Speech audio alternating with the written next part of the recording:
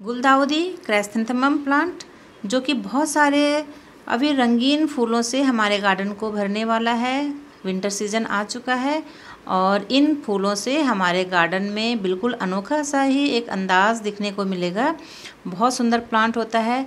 जिन्होंने ले लिया है, जिनके पास है, बहुत अच्छी बात है। जिन्होंने नहीं लिया है, ज़रूर नर्सरी से आप लेकर के आएँ और इस प्लांट को अपने गार्डन में ऐड करिए।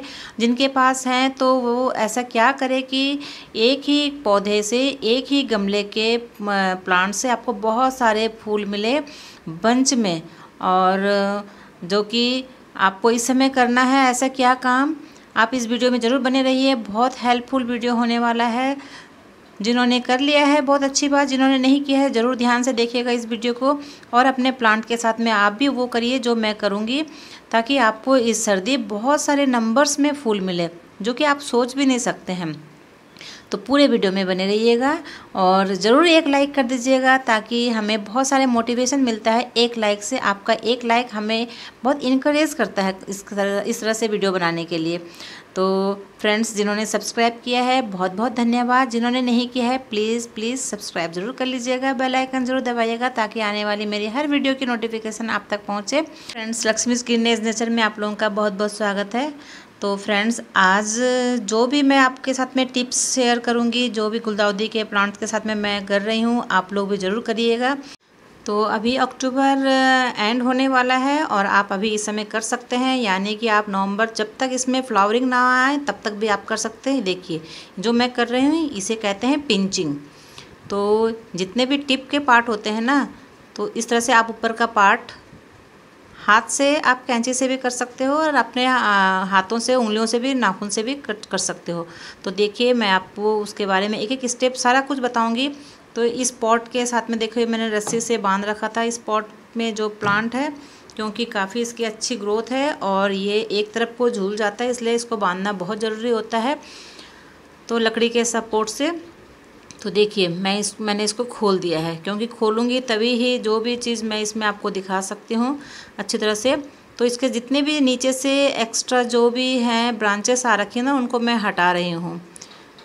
और जितने भी पॉट में आपके नीचे से जो भी पत्तियाँ होती है एक्स्ट्रा उनको निकालना ज़रूरी है। तो देखिए, ये अलग अलग से बहुत सारे ब्रांचेस हैं इसमें। आप पॉट जो प्लांट है, उसका साइज़ देख सकते हो, काफ़ी अच्छा है हेल्दी है, और इसकी हाइट भी अच्छी है। तो देखिए जहाँ जहाँ से मैंने पहले पिंचिंग कर रखी है ना, ये पहले कर चुकी हूँ मैंने पिंचिंग तो देखिए, वहाँ वहाँ से कितनी सारी इसकी ब्रांचेस निकल आई हैं। तो पिंचिंग करना बहुत ज़रूरी होता है फ्रेंड्स अपने पौधे में। क्योंकि पिंचिंग ही एक इतना इंपॉर्टेंट पार्ट होता है गुलदाउदी के पौधे के लिए कि जहाँ से आप ऐसा टिप के पार्ट से पिंचिंग करते हैं तो वहीं से उसके दो साइड से दो नोट्स यानी दो टहनियाँ अलग अलग से निकल जाती हैं। तो जितनी ब्रांचेस होंगी, जितनी इसकी शाखाएँ होंगी, टहनियाँ होंगी, उतने में इसका बर्ड्स बनेगा और उतने सारे हमें फूल मिलेंगे। तो भर भर के फूल अगर लेना है तो पिंचिंग करना ज़रूरी है। पिंचिंग इसी को कहते हैं। कई लोगों को पता नहीं होता है, देखिए। तो पिंचिंग अभी भी आप कर सकते हैं। अभी अक्टूबर एंड होने वाला है और नवंबर तक मतलब आपको तब तक करना है जब तक इसमें कलियाँ ना खिले, बर्ड्स ना आए। अगर बर्ड्स, जहाँ आपको दिखता है कि कलियाँ खिलने, कलियाँ आ चुकी हैं तो आपको पिंचिंग नहीं करना है। तब तक आप पिंचिंग कर सकते हैं। उसके बाद में तो फिर कलियाँ खिल जाएँगी तो जितना पिंचिंग करेंगे फ्रेंड्स, उतना अच्छा है। और दूसरा इंपॉर्टेंट काम है गुड़ाई। गुड़ाई करना बहुत ज़रूरी है। गुड़ाई करने से जितना भी एरेशन होगा, इसके रूट्स तक अच्छी तरह से एरेशन होगा और इसकी जो मिट्टी है, इसके जित, जो भी है हल्की हो जाएगी तो देखिए मिट्टी इस तरह से भुरभुरी होनी चाहिए। इसकी वेल ड्रेन सॉयल ही जो होता है, उसकी ही मिट्टी इस तरह की होती है और जितने भी एक्स्ट्रा जो पत्ते होते हैं ना, नीचे की तरफ़ में रूट्स की तरफ़ में तो उनका तो कोई काम होता नहीं है। उनको निकालना ज़रूरी है। क्योंकि अगर वो रहेंगे नीचे, मिट्टी के संपर्क में आएँगे मिट्टी के कांटेक्ट में रहेंगे तो हम पानी डालते हैं। जब तो वो क्या होता है, सड़ जाते हैं। फंगस वगैरह का खतरा होता है। दूसरी बात क्या होता है कि जो भी, जो धूप की किरणें होती है, रोशनी होती है, वो जड़ तक नहीं जाती है। तो देखिए, इस तरह के टूल होते हैं गुड़ाई के लिए। चौड़ा है एक और एक जो ये है पतला। तो ये ये अच्छा होता है, इस तरह घने पौधे के लिए। तो देखिए, मैं आपको दोनों ही दिखा रही हूँ। आपको दोनों में से जो बेटर है, जो अच्छा लगे, वो उससे आप कर सकते हैं। लेकिन मैं आपको बोलूँगी कि पतले वाले से करें तो अच्छा रहता है उससे कुड़ाई करने में। और जो भी पीली पीली पत्तियाँ हैं, इस तरह की ख़राब पत्तियाँ हो रही हैं, उनको निकालना ज़रूरी है। हाँ डरना नहीं है कि हमारे पौधे की पत्तियाँ इस तरह से ख़राब हो रही तो ख़राब हो गया होगा पूरा पौधा। नहीं, इतना तो वाजिब है, जो पुरानी पत्तियाँ होती है, वो इस तरह की हो ही जाती हैं। पीली भी पड़ जाती है कई बार, क्योंकि इसमें काफ़ी एक सारा झुंड में, गुच्छों में होता है ना तो हम पानी वगैरह डालते हैं तो कुछ पत्तियाँ आपस में टच रहते हैं तो पीले पीले पीले पीले हो जाते हैं और बाद में जब धूप पड़ती है इनमें तो वो क्या होते हैं, सूख जाते हैं। तो उन सारी पत्तियों को निकालना है इस समय, क्योंकि इतने घने होते नहीं है तो इतने सारे पत्ते आपस में रह कर के सूख भी जाते हैं। तो फिर उससे क्या होता है कि एक एक पत्ते से दूसरे पत्ते भी ऐसे ख़राब हो जाते हैं तो उनको निकालना बहुत ज़रूरी है। देखिए, इस तरह से जितने भी है, मैं सारा ही निकाल दूँगी। तो पौधे बहुत ज़्यादा होते हैं तो इसलिए ऐसा काम भी जो इसमें करते रहने से थोड़ा हल्कापन हो जाता है। तो मैंने बहुत सारी गुलदादी की, गुलदाउदी की जो पत्तियाँ सूखी थी मेरी, मैंने निकाल दी है। तो इसलिए मुझे इतना, उतना हार्डवर्क नहीं करना पड़ रहा है इस समय। नहीं तो बहुत ज़्यादा करना पड़ता है, क्योंकि पौधे बहुत ज़्यादा होते हैं तो इतना सारा काम होता नहीं है। साथ के साथ अगर हम निकालते जाए ना तो देखिए इसमें कम ही आपको मिले होंगे। और देखिए ये इस इसमें इस तरह की लकड़ी होती है, बाँस की, उसको सपोर्टिंग के लिए रखना बहुत ज़रूरी होता है फ्रेंड्स देखिए, मैंने रस्सी बाँध दिया है इसमें। सारा साफ़ एंड नीट एंड क्लीन पौधा मिलेगा आपको। तो जब भी गुड़ाई करें मॉर्निंग के टाइम ही करें तो जितने भी एक्स्ट्रा इसमें रूट के साथ नीचे से शक्कर बोलते हैं ना, जो वो भी निकल रखे होते हैं तो उनका भी हमें काम नहीं है। इनको निकाल दें यहाँ से और दूसरे में शिफ्ट भी कर सकते हैं आप। दूसरे में आप लगा लें उन पौधों को और मॉर्निंग में जितनी गुड़ाई करनी है, गुड़ाई मॉर्निंग में करें क्योंकि दिन भर की धूप अच्छी तरह से मिल जाए इसमें रूट तक इसकी वेरिएशन अच्छी तरह से हो जाए, मिट्टी सूख जाती है अच्छी तरह से और शाम को इसमें डालना है खाद। देखिए, शाम हो चुकी है और मैंने आपके सामने में इसको मॉर्निंग में गुड़ाई की थी तो अब शाम को इसमें डालूँगी मैं खाद और पानी। कभी भी खाद आपको दिन में नहीं डालना है, सुबह में नहीं डालना है, क्योंकि खाद हीट होता है, गर्म होता है और ऊपर तो आजकल बहुत कड़क धूप हो रही है।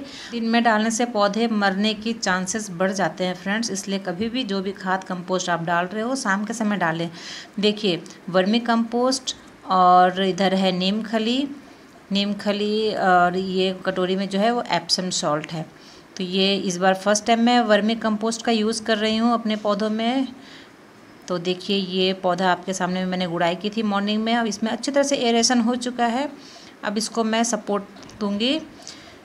आप बाँस के जो डंड, जो बाँस होते हैं, उनको फाड़ फाड़ के रख लीजिए काट करके छोटे बड़े साइज़ में और उनका सपोर्ट अच्छी तरह से होता है फ्रेंड्स इस तरह से कोई भी लकड़ी से आप सपोर्ट दे सकते हैं पौधों को। क्योंकि ऐसे ना, जब इसमें कलियाँ खिलेंगी, ऐसे भी तो ये इसका काफ़ी हैवी लोड हो जाता है, पौधा नीचे की तरफ़ गिर जाता है। तो एक दो स्टिक से इस तरह से सपोर्ट देना बहुत ज़रूरी होता है। तो इस इन पौधों में दूसरी बात क्या है कि पत्ती, अभी इस समय कीड़ों का भी अटैक होता है और आप जो भी साफ़ फंजिसाइड नीम ऑयल इनका भी स्प्रे ज़रूर करिए पत्तियों में, पौधे में, गमलों के आसपास। क्योंकि जहाँ भी चीटियाँ फिर लगेंगी, चीटियाँ क्या करती हैं, वो जो भी इंसेक्टिसाइड होते हैं, उसको फैलाने में हेल्प करती है, अपने साथ में उनको अंडों को ले जाती है, एक गमले से दूसरे गमले तक फैला देती है। तो देखिए, ये मैं डाल रही हूँ अब इसमें वर्मी कंपोस्ट वर्मी कंपोस्ट आप वर्मी कंपोस्ट नहीं है तो आप गोबर की खाद ले सकते हैं। आपके पास गोबर की खाद नहीं है, आप उपलो जो गोबर के कंडे होते हैं, उनको पानी में भिगो दीजिए चार पाँच दिन तक, उसके भी अच्छे तरह से खाद बना बना करके डालिए। किचन कंपोस्ट है, आप उसको भी डाल सकते हैं। आपके पास में लीफ मोल्ड पत्तियों की खाद है, उसको भी डाल सकते हैं। इनमें से कोई भी आप एक डाल सकते हैं या मिक्स करके भी डाल सकते हैं। ये सब बहुत अच्छा काम करता है इन पौधों के लिए। और इसमें डालूँगी आप नीम खली। नीम खली इंसेक्टिसाइड का काम भी करता है न्यूट्रिशन का भी काम करता है। तो बहुत अच्छा होता है पौधों के लिए। किसी भी पौधे में आप डाल सकते हैं। तो थोड़ा सा नीम खली डाल रही हूँ। आप एक साथ सबको मिक्स करके भी डाल सकते हैं। मैं आपको एक एक करके दिखा रही हूँ। मेरे पास बहुत सारे पौधे हैं फ्रेंड्स बाद में मैं सबको मिक्स करके बारे में सारे गमलों में डालूँगी क्योंकि आपके साथ में अगर इस तरह से एक एक सारे गमलों को शेयर करूँगी, सारे पौधों को शेयर करूँगी तो बहुत लंबा वीडियो बन जाएगा। ये डाला मैंने एप्सम सॉल्ट एप्सम सॉल्ट बहुत अच्छा होता है पौधों के लिए, इनकी ग्रोथ के लिए कोई भी पौधों को शौक से बाहर निकालने के लिए। तो ये इस तरह के खाद मैंने डाल दिया है, जो कि इन पौधों के लिए बहुत ज़रूरी है। अभी इस समय आप नवंबर तक जो भी आप प्लांट्स लेकर के आए हैं नर्सरी से या फिर आपने जो भी ग्रो किए हैं छोटे पॉट में, उनको आप पॉट में शिफ्ट कर लीजिए। इसके लिए आठ से बारह इंच का पॉट इनफ होता है, काफ़ी सही होता है। ज़्यादा ज़्यादा से ज़्यादा आप आठ से दस इंच के पॉट में इनको डाल सक, ट्रांसफ़र कर सकते हैं। और पानी शाम के समय में दीजिए। अगर आपको लग रहा है कि मिट्टी सूखी है तो आप पानी डालिए उस हिसाब से। अगर मिट्टी आपको गीली दिखती है तो पानी नहीं डालना है। क्योंकि एक्स्ट्रा पानी डालने से इसका रूट जो कि गल जाते हैं। तो हमारा पौधा में नुकसान ही हमें देगा, इसलिए पानी भी हिसाब से डालना है। तो फ्रेंड्स आप लोग यहाँ तक बने रहे। बहुत बहुत धन्यवाद आपका। आपको वीडियो कैसा लगा ज़रूर बताना और आप लोगों ने क्या क्या कर लिया अपने गुलदाउदी के पौधों के साथ में, ये भी मुझे ज़रूर बताना। और पूरा वीडियो देखने के लिए बहुत बहुत धन्यवाद। अगेन